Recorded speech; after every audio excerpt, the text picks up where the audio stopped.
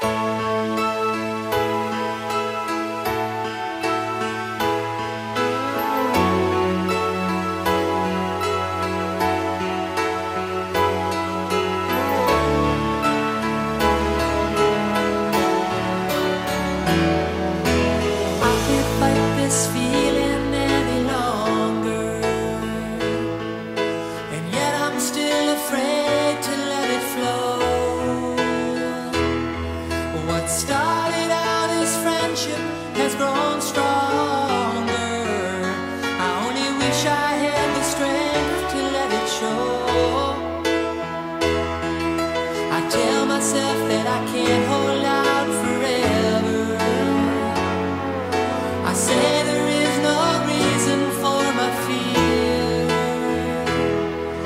Cause I feel so secure